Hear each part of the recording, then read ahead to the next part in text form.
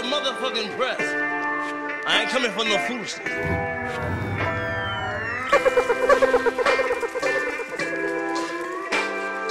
I told the girl, I said, you gonna have to shut the fuck up.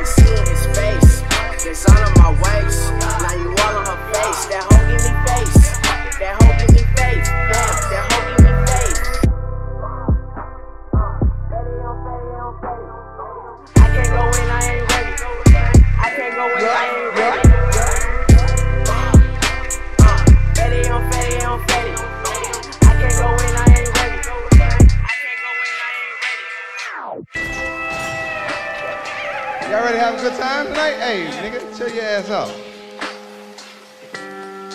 Get the fuck out of here. Yo.